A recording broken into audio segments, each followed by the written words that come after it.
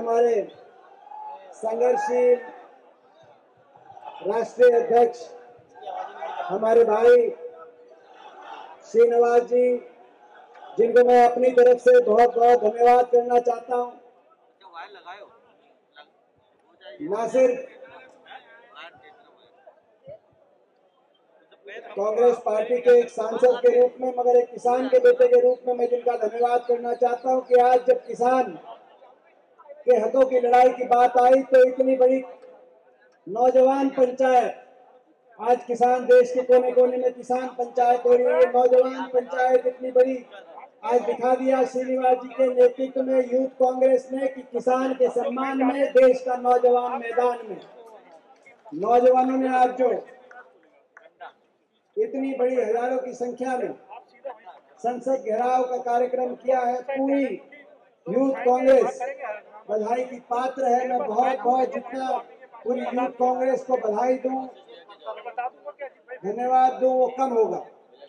हमारे बीच में बहुत से सभी यूथ कांग्रेस के हमारे वरिष्ठ पदाधिकारी यहाँ पे उपस्थित हैं।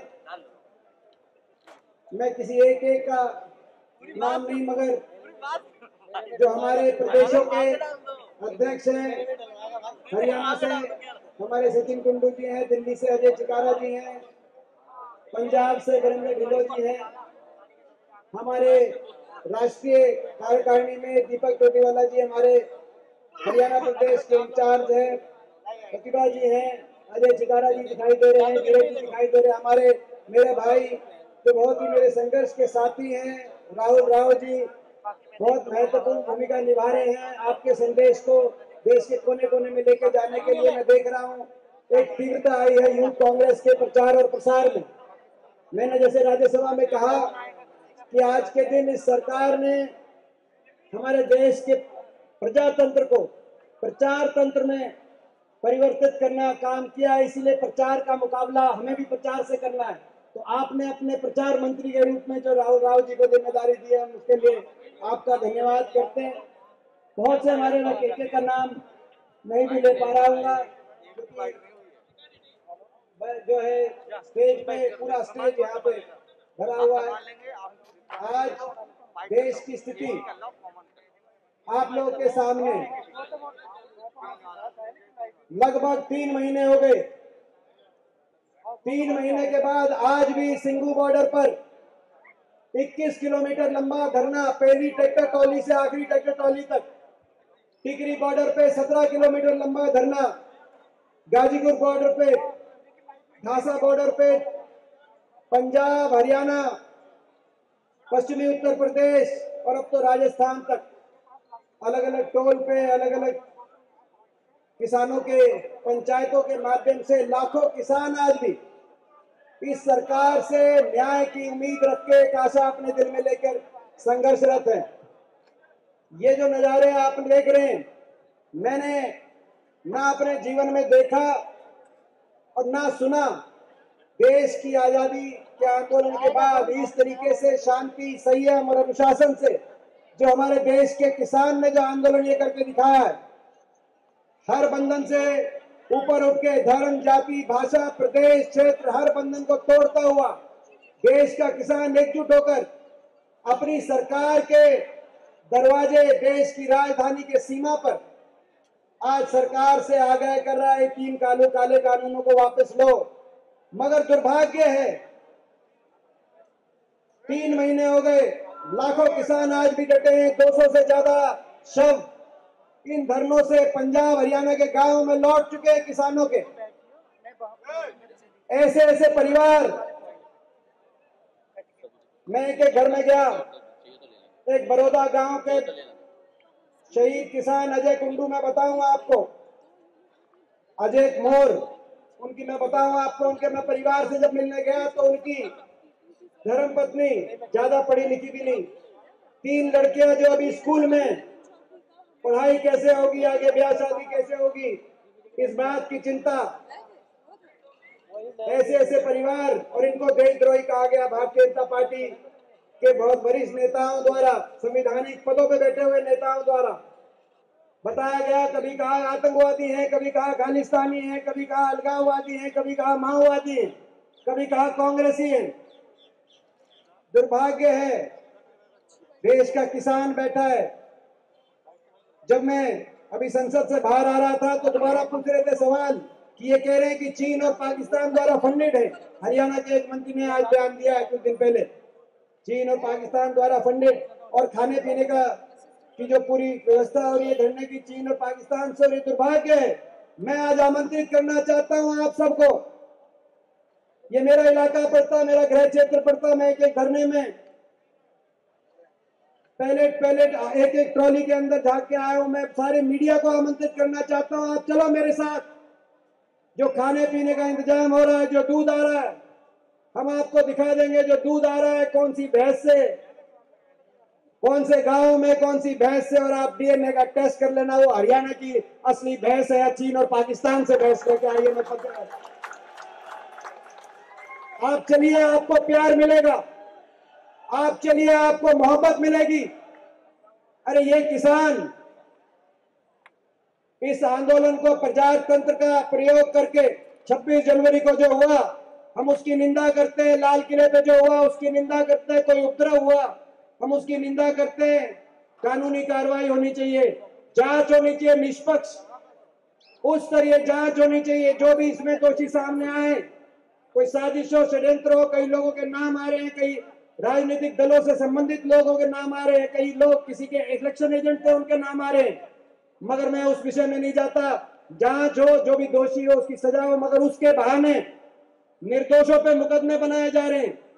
निर्दोष किसानों पे, निर्दोष मीडिया कर्मियों पे पूरे आंदोलन को बदनाम करने की प्रयास प्रचार तंत्र द्वारा, सरकार द्वारा जो किए गए, उसमें सरकार की नीयत का, उसमें पता चलता है कि सरकार की नीयत किसान के प्रति ऐसी नीयत नहीं, ठीक नीयत नहीं मैं कहना चाहता हूँ, इस सरकार को तीन महीने से लोग बैठे हैं। इन लोगों की नीयत का अंदाज़ा लगाना चाहिए इस बात से। तीन महीने बहादुरगढ़ बहुत बड़ा शहर है, सोनीपत बहुत बड़ा शहर है, सिंगू बॉर्डर पे पास। तीन महीने में पुलिस चौकियों में जाके आप पता कराओ मेरा इलाका, मैं कह सकता हूँ, पता कराओ किसी एक थाने में, एक पुलिस थाने में, एक पुलिस चौकी में अगर ये भी कंप्लेंट आई हो, लाखों आदमी बैठे हैं, आज भी बैठे हैं कि किसी रेडी वाले की मूंगफली भी छीनने की कोशिश करी है तो हम आपकी बात मान जाएँगे। तीन महीने लंबा समय होता है। किसी की रेडी छीनने की कोशिश करे किसी रेडी में जाकर किसी की मूंगफली छीनी हो, किसी अकेला छीना हो, किसी को खिलाने का काम तो किया किया, किसी से ऊँची आवाज़ में बात करी हो। शांति से, अनुशासन से बैठे हैं, फिर भी पहरे लगाए जा रहे हैं। फिर भी बैरिकेड, पंद्रह पंद्रह लेयर के बैरिकेड लगाए जा रहे हैं। फिर भी कीले, ठोकी जा रही हैं। नोकीली ठीक कीले, सड़क में ठोकी जा रही है बड़ी बड़ी कीले, ये जो कीले उगाई जा रही हैं सरकार की। किसान के दिल में इतना प्यार है, ये जो नफरत भरी कीले जो ठोकी जा रही है, जो नफरत भरी क्या भरी कीले, सड़क पे उगाई जा रही है। अपनी प्यार की दराती से किसान इन कीलों को काटना जानता है। मगर दुख की बात यह है कि अभी संसद का सत्र हुआ उस सत्र में हमने जब आवाज़ उठाई तो जवाब मिला पहले तो नरेंद्र तोमर जी का जो माननीय कृषि मंत्री हैं उनका जवाब मिला। क्या मिला? कि तीन हम, हमें तो कोई अभी तक यही नहीं बता पाया कि इन तीन कानूनों में काला क्या है। दुख की बात है। आपको भी पता है हमें भी पता है क्या काला है। काले की शुरुआत आपकी नीयत से होती है। सबसे पहली तो आपकी नीयत काली है। मगर दुख की बात यह है कि आपने 11-11 राउंड की बातचीत हुई। किसी संगठन ने आपको समझाया, विपक्ष के नेताओं ने आपको समझाया। एक एक बात बताई, मगर आपने वो बात नहीं सुनी। दुख की बात यह है बात सुनने की बात तो दूर है, बता रहे एक अक्षर काला नहीं है। नज़रिए का फ़र्क है तो मर्ज़ी। आप इन कानूनों को, हम इन कानूनों को किसान के नज़रिए से देखते हैं और आप इन कानूनों को धनवान के नज़रिए से देखते हैं। ये फ़र्क है, ये सबसे मोटा फ़र्क है। नारा बदल दिया।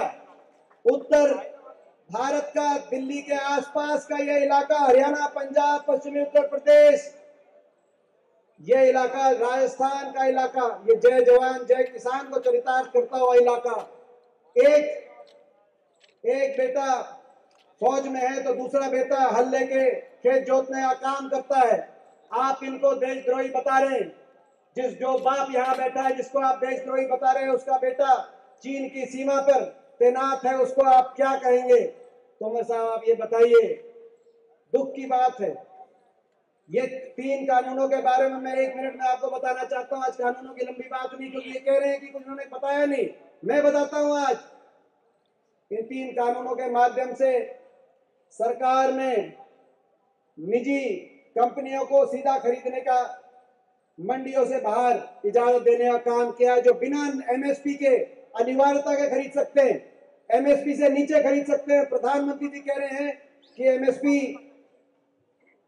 एमएसपी था एमएसपी है एमएसपी रहेगा प्रधानमंत्री जी ने कही बात एमएसपी की घोषणा करने से एमएसपी नहीं रहता एमएसपी पे खरीद करने से एमएसपी होगा अगर एमएसपी की घोषणा करी जाएगी मगर एमएसपी से खरीद का बजट जैसे आपने इस साल घटा दिया एफसीआई का सरकारी एजेंसियों का बजट आप शून्य पे लाके खड़ा कर देंगे और खरीद नहीं होगी और पाँच पाँच प्रतिशत अनाज एमएसपी पे खरीदा जाएगा और बाकी अनाज निजी कंपनियाँ सस्ते से सस्ते में खरीद के, किसान से किसान को निचोड़ के खरीद के, असीमित भंडारे के बाद ग्राहक को महँगा देने का काम करेंगे।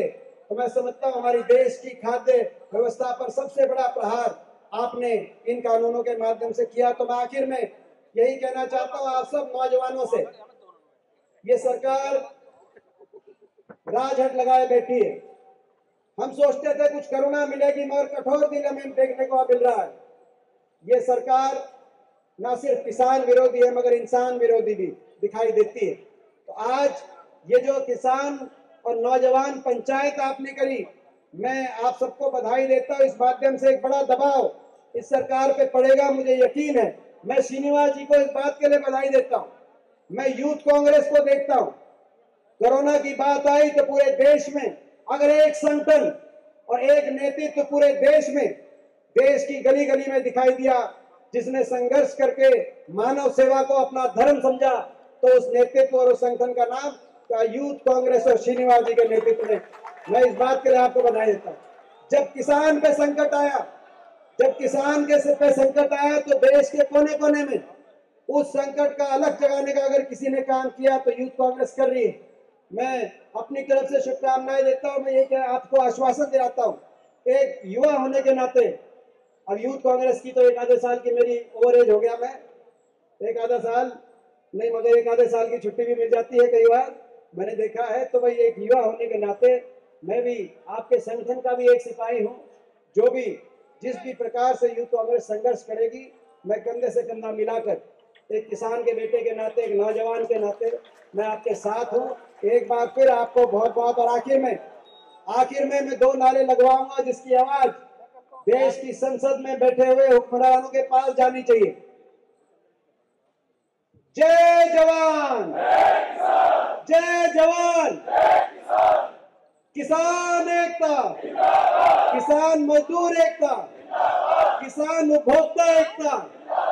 जय हिंद! जय कांग्रेस।